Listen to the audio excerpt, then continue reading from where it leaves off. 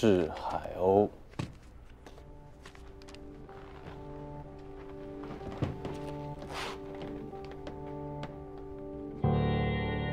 这诗算不溜秋，人倒是白白净净。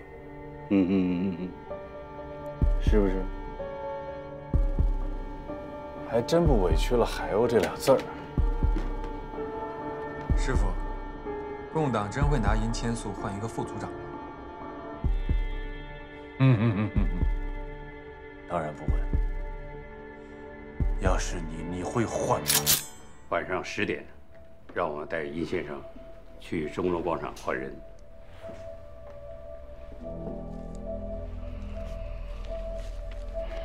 水母的目标是我，欧阳同志是受我连累的，我去把他换回来。钱叔，欧阳同志约到老帅，如果没有他，我们就见不到老帅。可没有你，就算是见到了秦老，有谁联络唐思远啊？易先生。现在问题不是谁换谁，而是敌人为什么偏偏在这个节骨眼上绑架了欧阳同志？我觉得局长说的对，咱们电话里刚刚定了晚上八点半与秦老见面，而且唐思远那边也是因此把作战会议推迟到了十一点。就在这个时候，水母居然绑架了唯一可以促成和秦老见面的人，这绝不是巧合。那你的意思是说，绑架坏人纯粹就是幌子？他们的真正目的？就是要破坏今天晚上的劝秦计划。虽是推测，但极有可能。与欧阳见面，只有我们几个人在场，敌人怎么会知道呢？师长，敌人极有可能是窃听了电话内容。呃，我们查过了，您办公室的电话是一级加密专线，敌人做不了手脚。可是秦老那边是公共线路。如果敌人想窃听的话，在技术上是有可能。百密一疏啊！马上去查。我们已经去查了，可是横跨大半个松江的线路需要时间。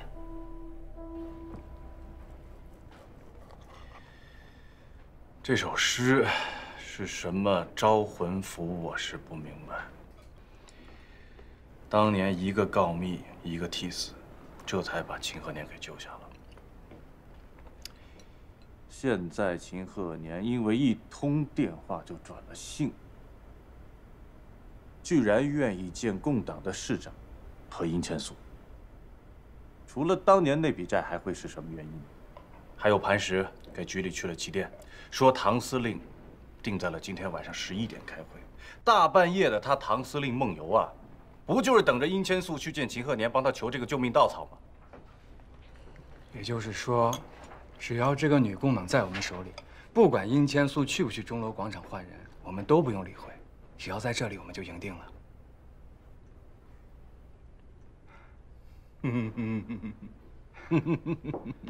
放屁！没出息啊，真是没信用。钟楼广场晚上十点是我们定的。不去不是没有信用吗？是不是？师傅，可这又是为什么呀？殷千素虽然不会来，他共党专案组难道不就他们的副组长吗？肯定大张旗鼓重兵出击啊！那个时候敌在明，我们在暗，难道不埋伏他们吗？可是，共党专案组不是我们的任务目标。杀的再多有用吗？当然有用啊！第一，合上了眼睛，共产党不能只用一条人命来赔。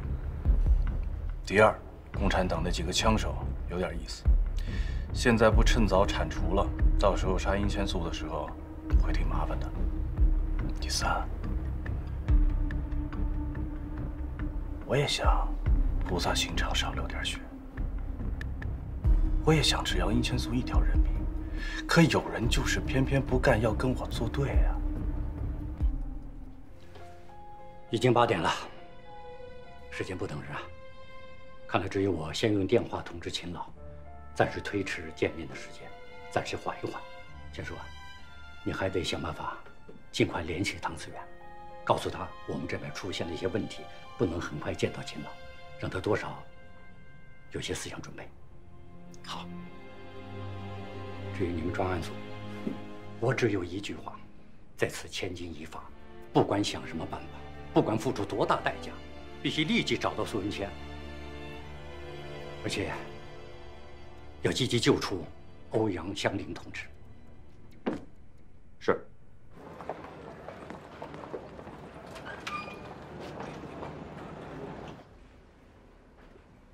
没错，就是他。他买完药还在这儿打电话了。他都买了些什么药？呃，碘酒、纱布、磺胺，都是普通的外伤药。哦，我收到你们公安局通知了，卖外伤药要验伤者，他这胳膊上真有一道刀伤，他说是自己不小心划的。你再帮我回忆回忆，看还有什么细节。除了买药跟打电话，好像也没有什么特别的啊。哎，我不知道这算不算啊？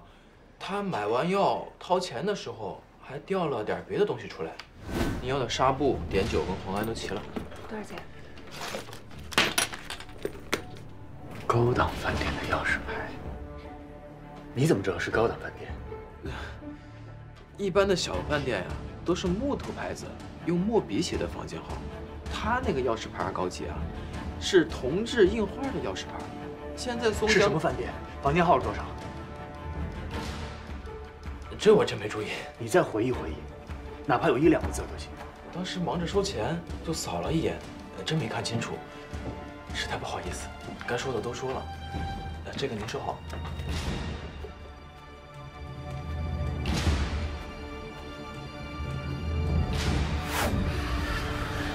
以干洗店与药店为中轴延展，这片街区正是松江最繁华的市中心。也是高档饭店最多的地段，暗杀组的落脚点很可能就是其中之一，而要排查出具体是哪一家，需要相当的时间。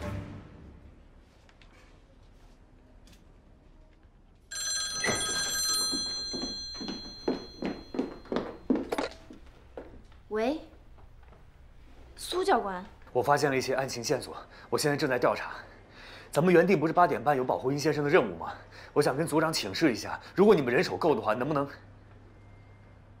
你说什么？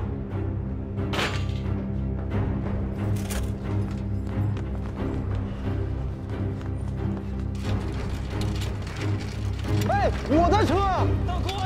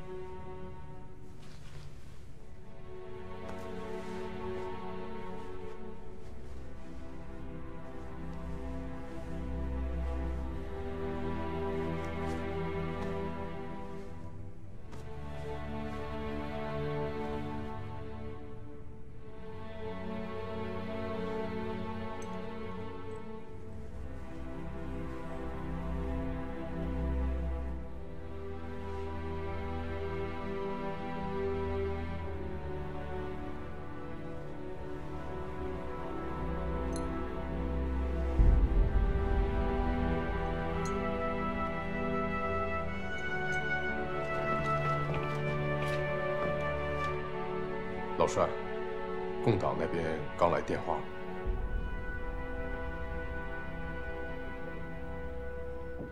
嗯，好，我知道了，就这样。电话局内线通报，共党刚给秦家通过电话，说因临时意外，请求推迟今晚的见面，具体推迟到什么时间待定。师傅，看样子成了。松江站的暗桩子撒出去没有？方幸福都安排好了，从殷家到钟楼广场，每个关键路段都安排了人。通知郑鹏和冷桥，进入钟楼广场预定观测位置，严防共党提前到场摸底。是。哦，还有，把所有的备用设备全部装车。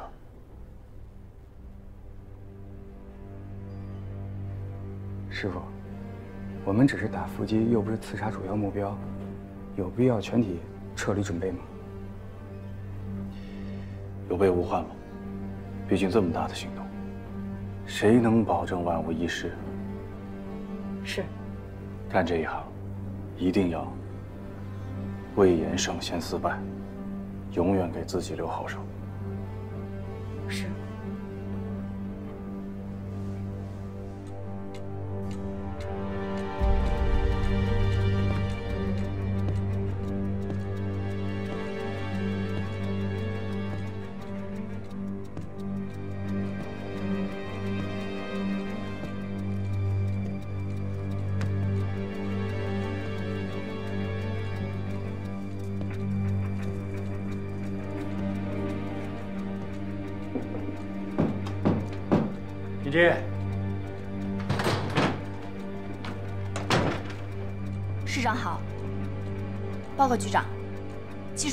术科的同志已经把秦公馆外线电话全部查了一遍，没有发现任何破损和加工的痕迹。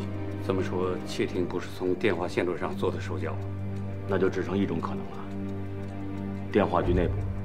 对，技术科也这样认为，已经派人去电话局查了。苏文谦呢？他什么时候回来？不能等了，市长、局长，我申请马上做好武装营救的准备。你的意思是？易先生，能不能借您身上这件衣服用用？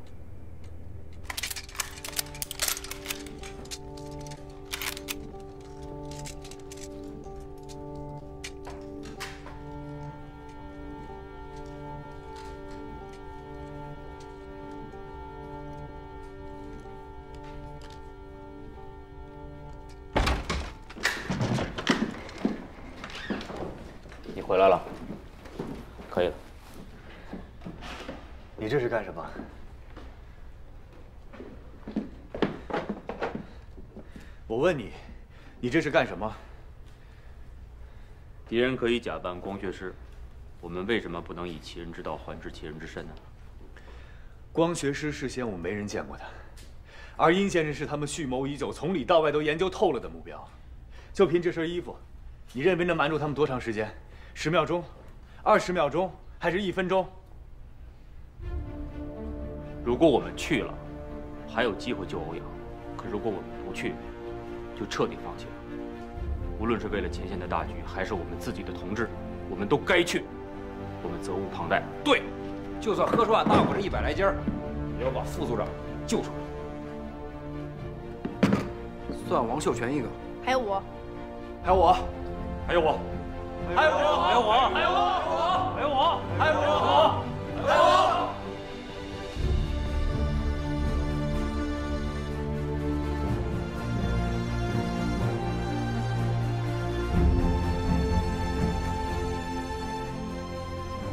我听说，水母组指定由我出面换人。对。可是之前我们答应过你，你不用参加我们的具体行动。这次钟楼换人，我去。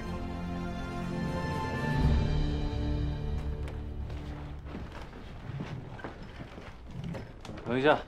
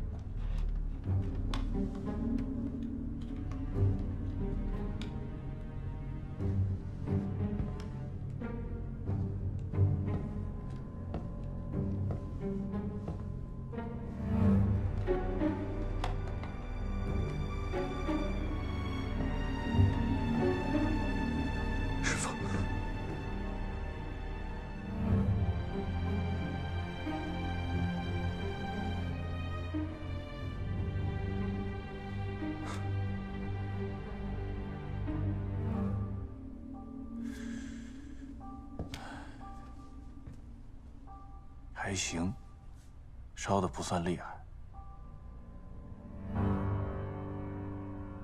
撑几个小时，没问题吧？师傅放心，我撑得住。啊，那就好。师傅，你说，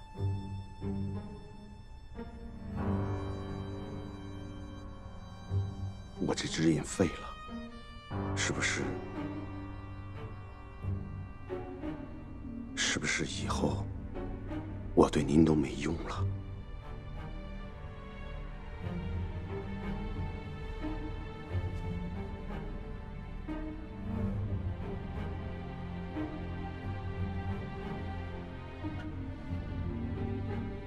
我们是一家人，为什么会这么想呢？不会的，你看，今天你就身负重任，谢谢师傅。任务完成以后，我会通知你，把人质杀了，然后到撤离点集合。是。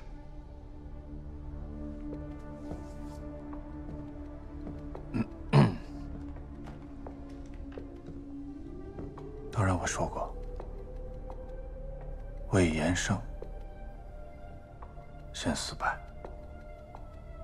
是不是？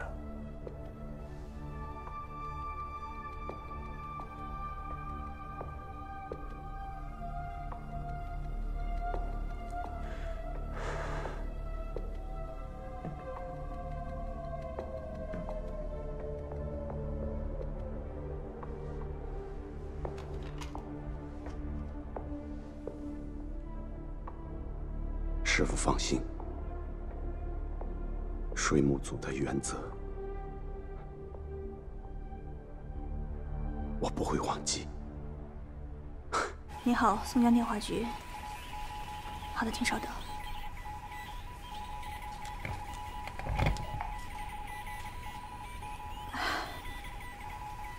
你好，松江电话局。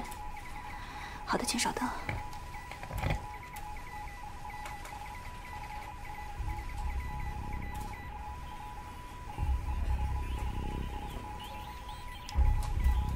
什么？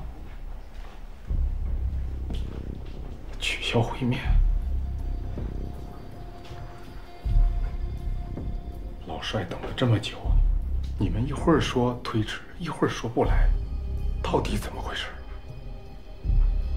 能让那位姑娘自己说明一下吗？那好吧。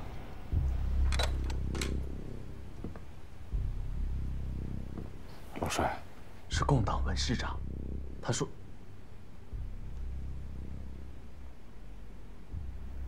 三年前，你看清那个姑娘的长相吗？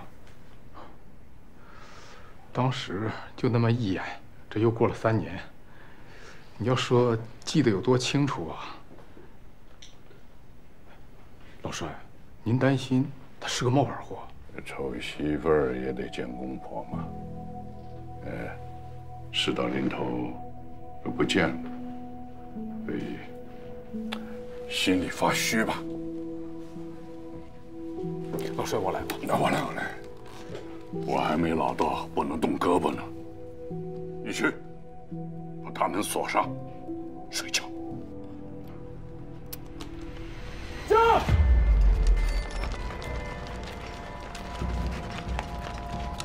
向看齐，向前看，向左转，下车。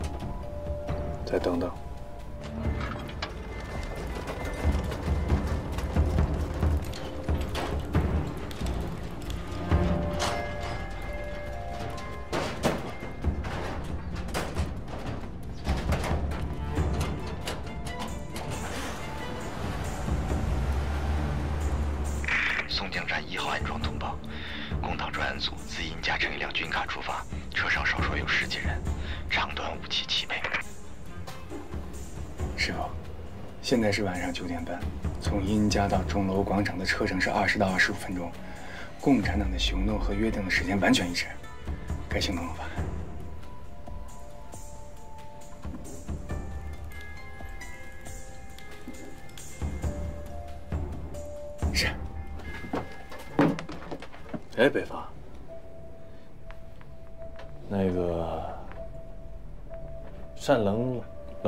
还有振鹏，都见过苏文谦，只有你没见过。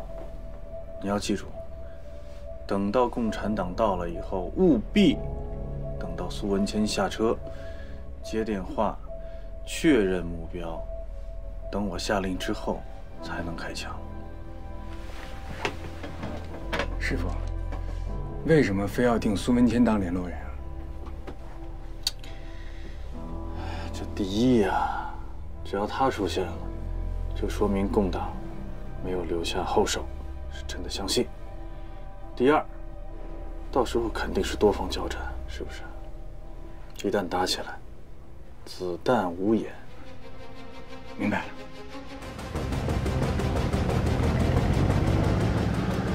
二号报告，车队刚刚走过了贝当路，转进了燕子峡。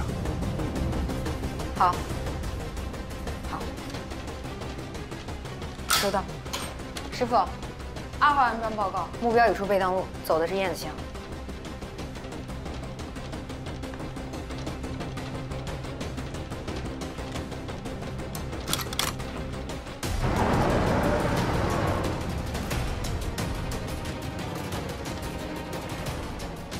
目标已出燕子巷，进入杨浦路。三号安装报告，目标已出燕子巷，进入杨浦路。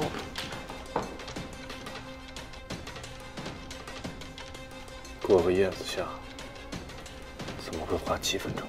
燕子巷那一带七弯八拐的，里面住的又都是一些小商贩，晚上收了摊基本上都停在路边，卡车经过可能是有些堵。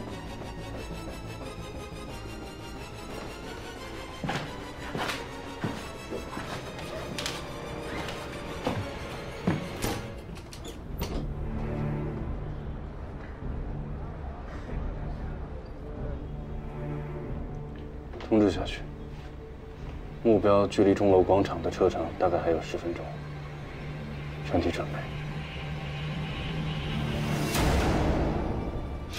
收到。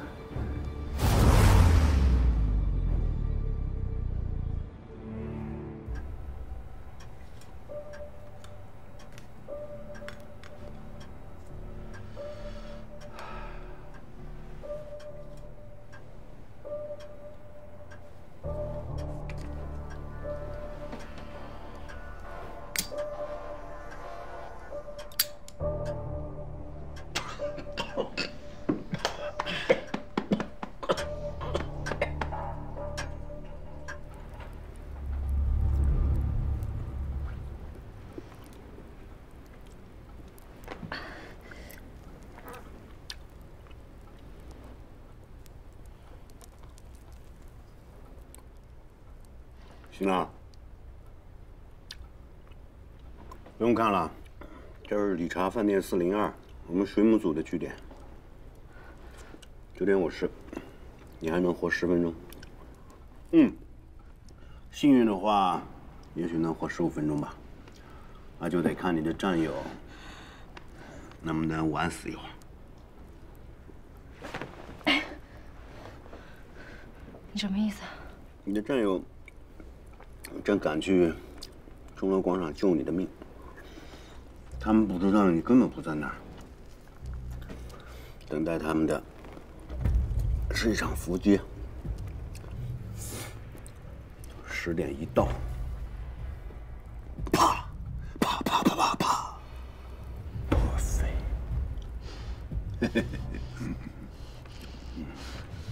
不用担心。我们水母组的枪法都很准，他们不会痛苦的。不用看了，这离中乐广场很远。即使我把窗帘打开了，你也看不见他们是怎么死的。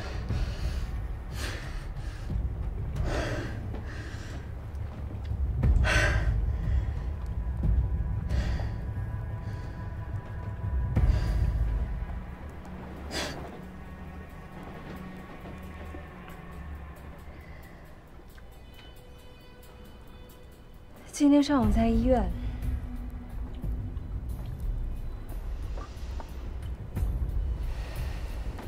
这只眼睛，就是在窗帘落下的那一秒钟被人打瞎的吧？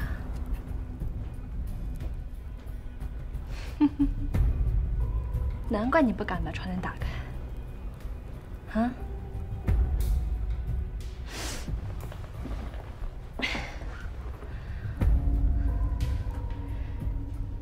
你是不是怕这窗帘打开？你另外一只眼睛也会被人打瞎。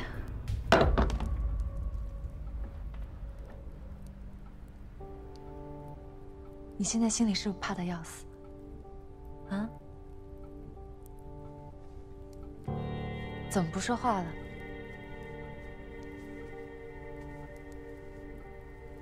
你刚才不是话挺多的吗？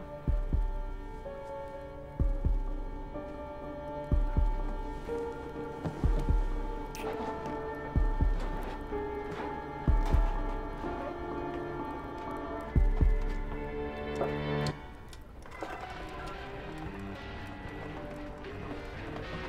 フフフフ。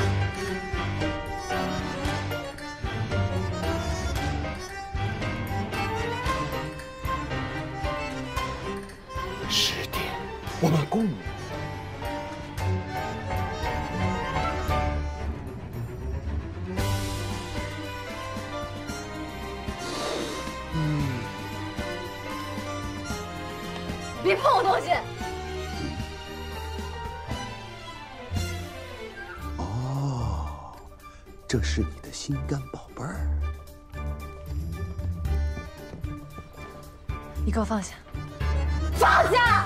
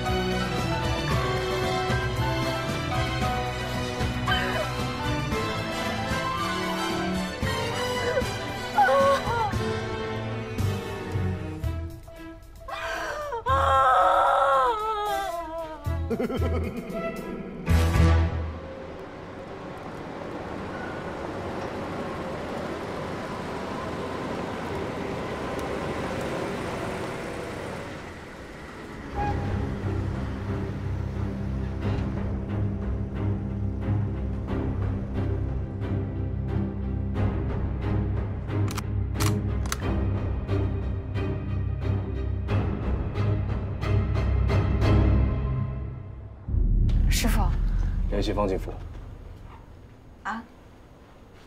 现在？我们抓的那个女共党，共产党未必不会猜到是电话泄了密。如果猜到了，我们在电话局的内线就有危险，这样就会反过来给我们布局。所以你现在马上联系方进福，确保内线的平安。是。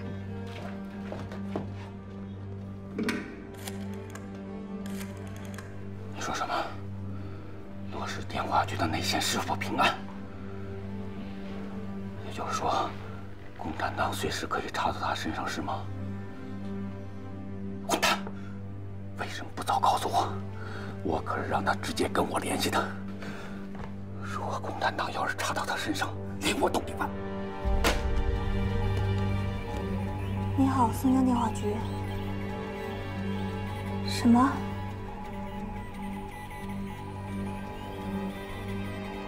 我这边还好，没什么异常，就是一天一夜没下班，快撑不住了。我再不下班，同事们也该起疑了。你再撑一会儿，等那边行动一完，我马上给你打电话，你立刻撤。还有，共产党随时可能查到电话局。老袁，万一出了事儿，您放心，我早有准备。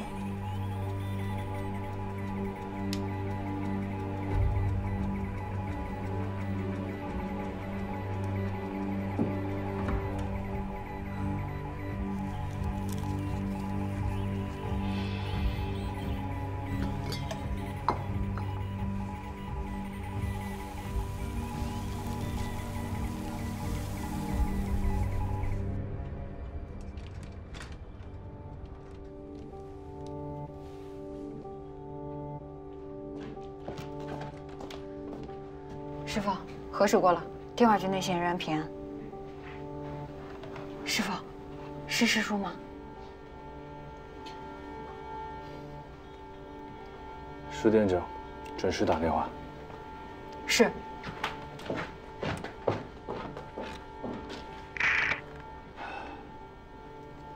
全体都有。一会儿，等共党出来接电话，确定是苏文谦之后，听我命令，一起向卡车开火，车内共党，一个不留。收到。收到。收到。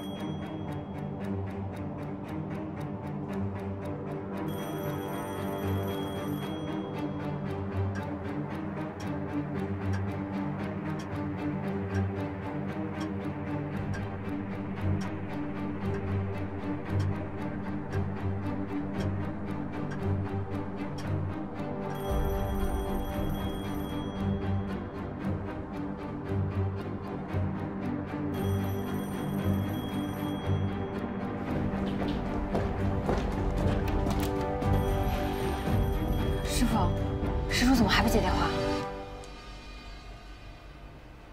师傅，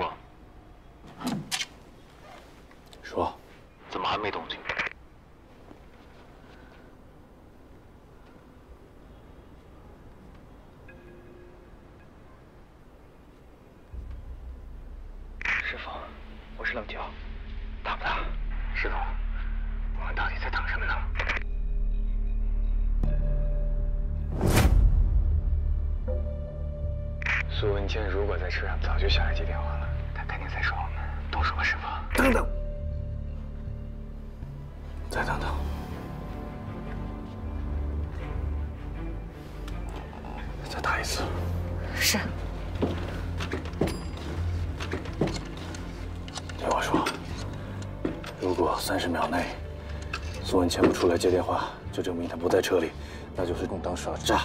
到时候一起开枪，先打司机，让共党动不了我，再打车厢。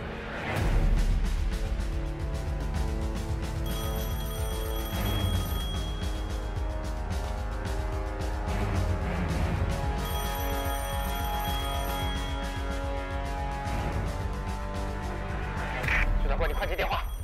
你快去接电话，徐长官！苏长官，快去接电话，苏长官！苏长官，快去接电话，苏长官！你不要管我们这些，快去接电话，苏长官！苏长官，快接电话，快接电话，苏长官！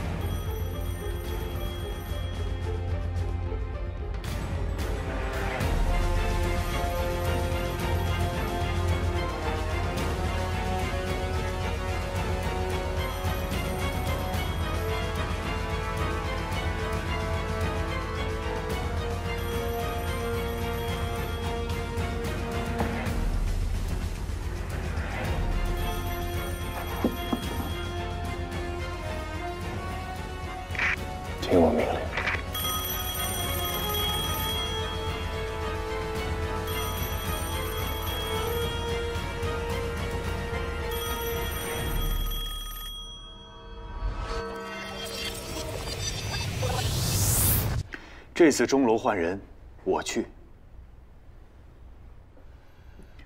除了我，你们谁也不能去。为什么？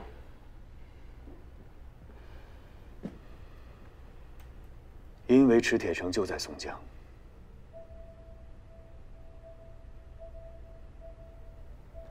这次钟楼换人是他故意制造的陷阱。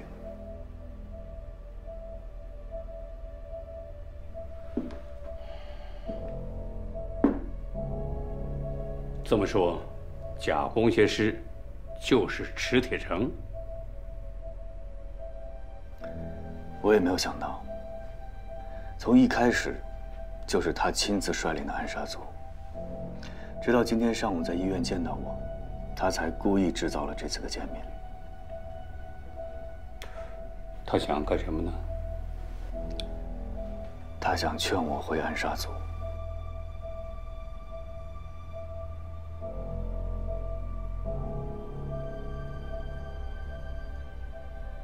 你刚才说这个池铁城是约你去星光电影院见的面是吧？是的。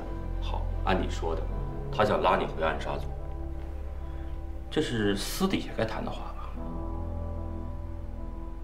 他为什么要把你约到一个那么人多眼杂的地方？可能他一开始就知道没有多大把握能够劝动我。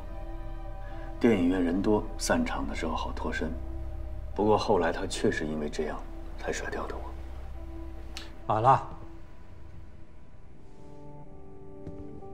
现在不是说这些的时候。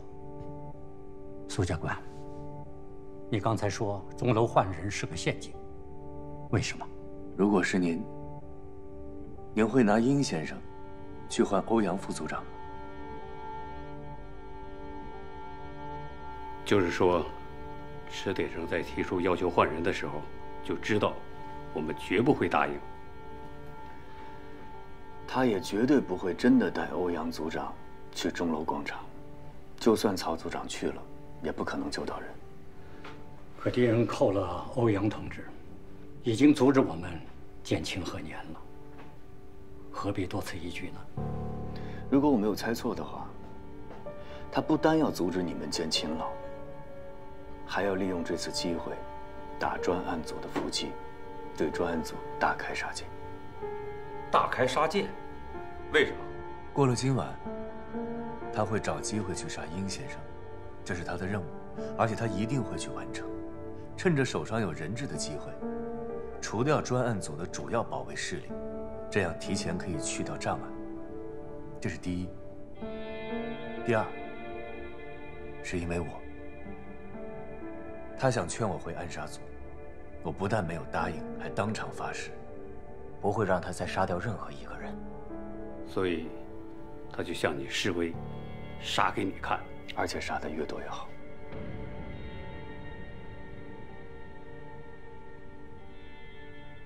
他知道我们一定会去救欧阳副组长，所以才把地点选在了广场。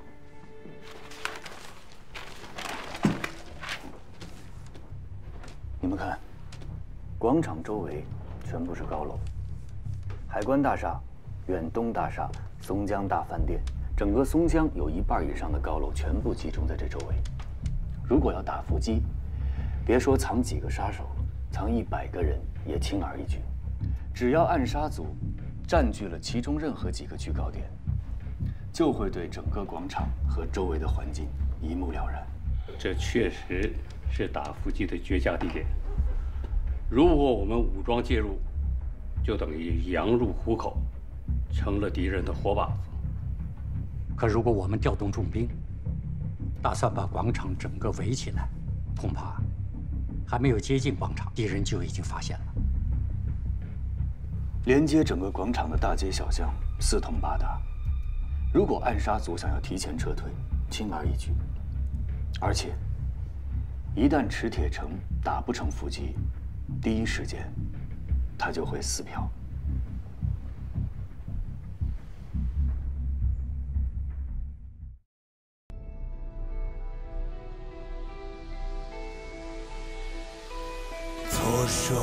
雕刻着宝剑，颤抖的右手道别昨天。子弹在耳畔诉说从前。你我转身，已沧海桑田，暗藏汹涌的平淡。愧疚将白发渐渐晕染，子弹将你我分割两端，相识不语，一生万语千言，答案背后的答案，试探被试探结级斡旋，放下再拿起另一支烟，结局总会峰回路转。